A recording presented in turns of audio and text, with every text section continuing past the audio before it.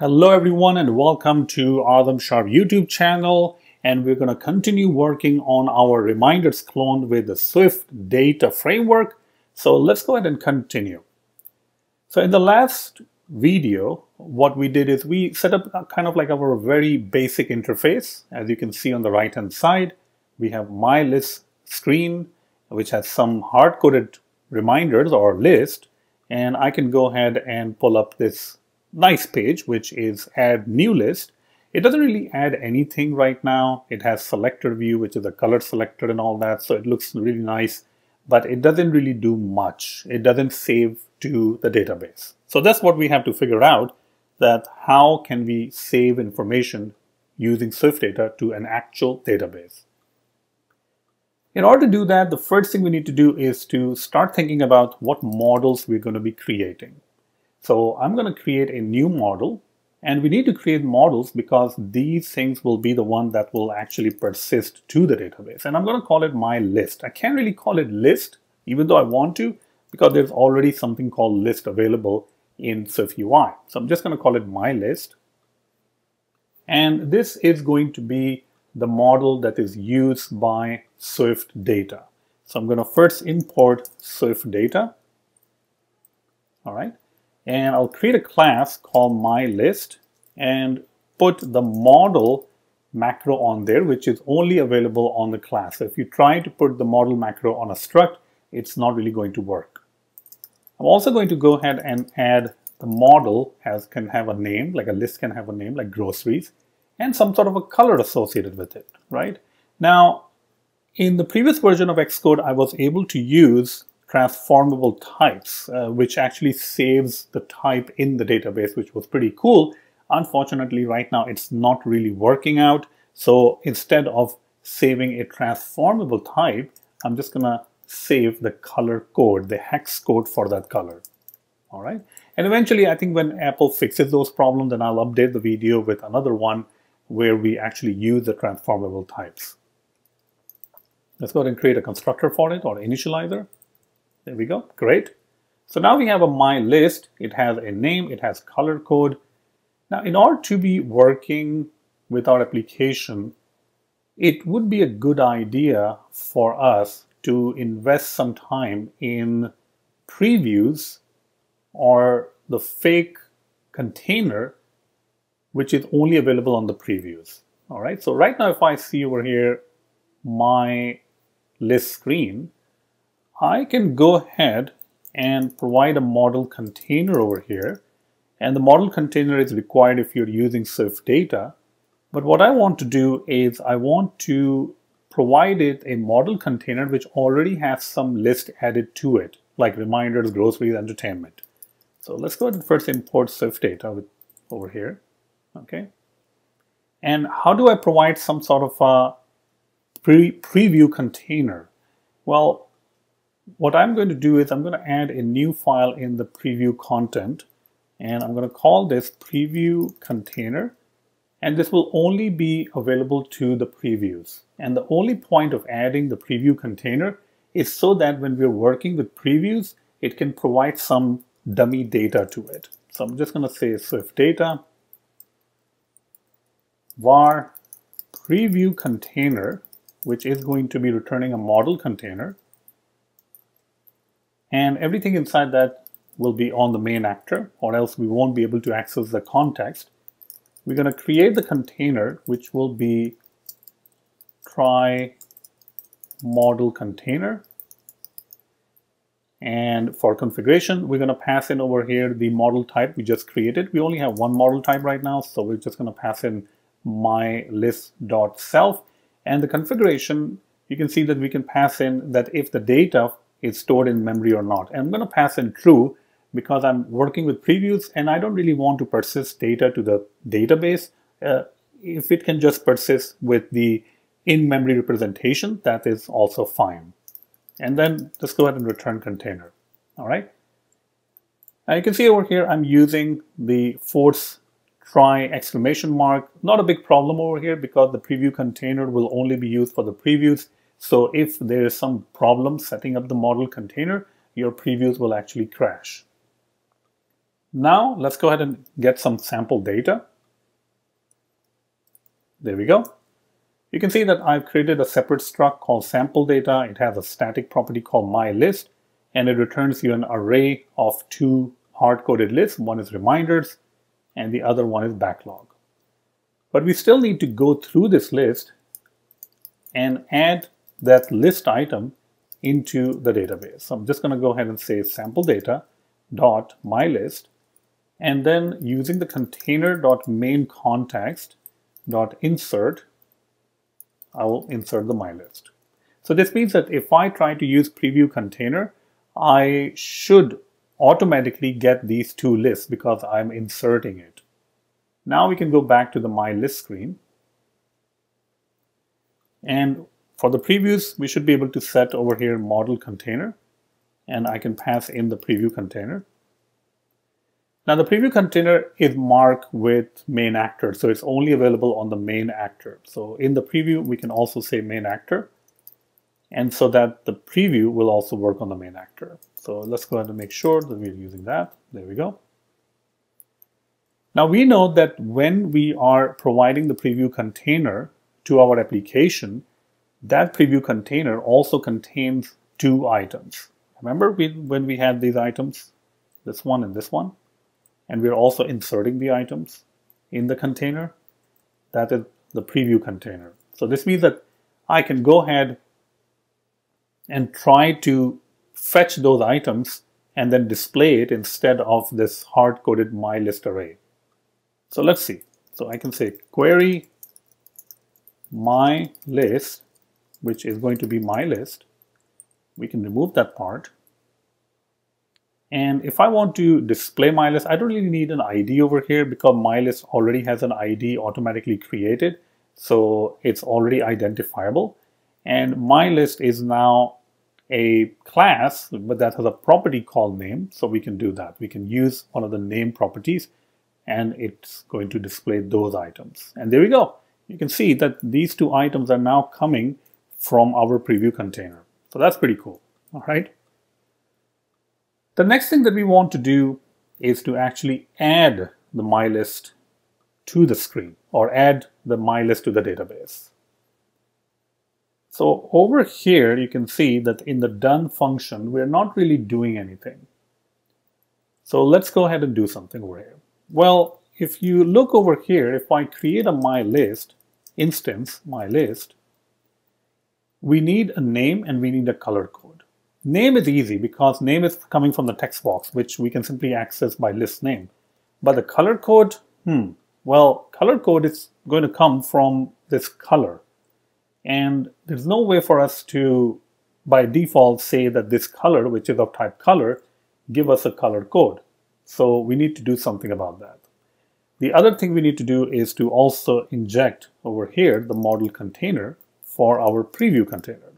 So let's go ahead and say preview container, which is only available on the main actor. So we will have to use the main actor over here, main actor. Okay. So now the problem is that we have the selected color, but this is in a color. So if I go and jump over here into the color, you can see that this is a struct which is conforming to hashable, custom, string convertible, sendable, but it's a struct. It's we need to convert this color somehow to a hex code. So how can we do that? Well, I was able to ask ChatGPT to come up with some code that will allow us to convert a color into hex. So what I'm going to do is I'm going to go ahead and add a new group over here. I'll say extensions, new file, and this will be an extension on color itself. So color plus extensions.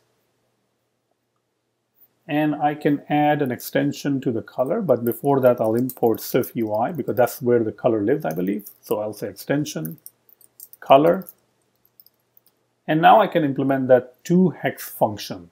The toHex function will be responsible for taking the color and then converting the color into hex. So let's use that. Now, if you want a little bit more detailed about this function, you can definitely paste this code in uh, ChatGPT and, and find out more about it. All right, it's basically extracting the RGBs and then it's forming that particular hex string. But let's go over here back and try to see if we can get the hex.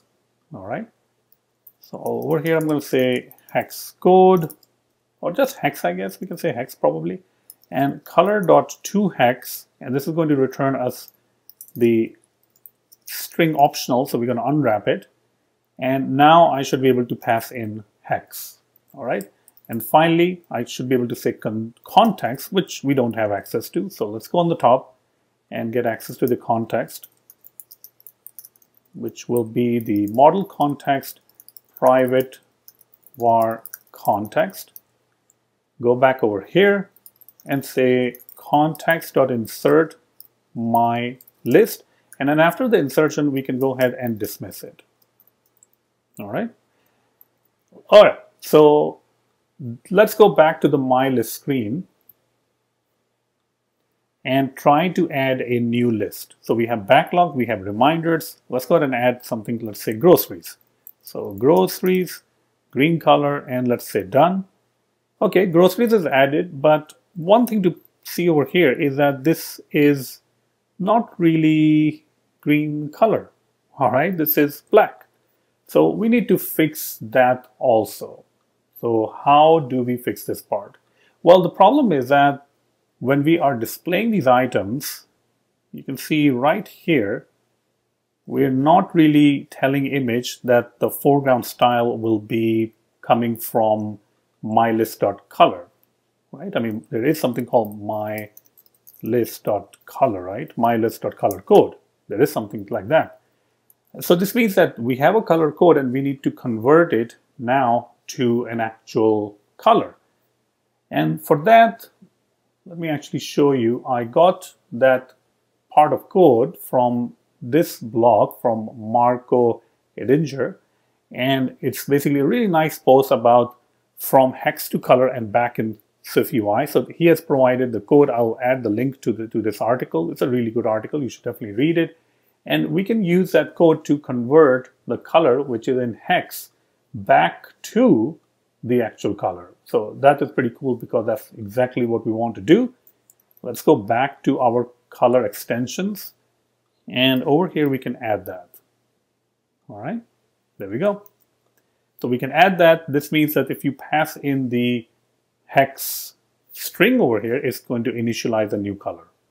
Let's go back and maybe we can do it over here. We can say foreground style and over here we can say color should be a one with the hex probably hex my list dot color code. So we pass in the color code and then it gives you the color. And you can already see it's working, right? Because the backlog over here is purple and this is green, but let's go ahead and add another one. So let's call it entertainment and let's add that and now you see red color. So it looks like this is all working and all of these things are actually now saving to the database. And by database, I mean the in-memory database. But if you run it on an actual device, it will save it to the actual device. But don't run it, run it right now because we haven't done uh, figuring out the reminders clone app. So let's go to the clone app, which is your app file. Uh, instead of using content view, actually we can delete content view. We're not really going to use content view. Let's go and delete it. There we go. And over here, our home screen is called My List Screen. And we're also using the navigation stack, right? Okay, and we will be using the model container well, not really model container per se. We're not going to use a preview container because that's the real deal. This is the actual app. We're just going to say mylist.self. And I think that hopefully should be enough to run it on an actual device. So let me go ahead and run it. And when this persists the information, it will be persisted to the actual database. So let me go ahead and say reminders. Okay, there we go. Let me go ahead and say over here groceries. Okay, we have the groceries. And let me go ahead and stop this and try to run it again. And reminders groceries. So we got the both of them, all right? So this means that they are being persisted to the actual database. So there you have it. Um, in this video, you learn how to save it to an actual database using Swift data, and you also learn how to display it on the screen. So hope you have enjoyed it. And in the next video, we'll be obviously be moving forward with the Reminders Clone app. If you like this video and want to support my channel, then the best way would be to check out my website, azamsharp.school. This is one of the largest catalogs for iOS development.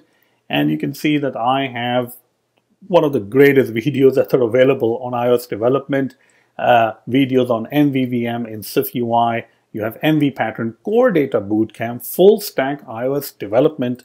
Nobody is even talking about full stack iOS development. I have a course on it. Then we have a reactive programming using Combine. And you can see that I have a lot of other courses, testament development, reality kit if you're trying to do any Vision Pro. Uh, then that's a prerequisite. You should learn Reality Kit too. Apart from that, I also have workshops. Now, these are live workshops. They're like three hours long. And the next workshop is coming up on April 27th. And this is actually the last time that I'm going to be offering the workshop at pretty much like a free price of $50 only because Swift Data Fundamentals and all the other workshop, they will be different pricing. You can see that price is going up. All right.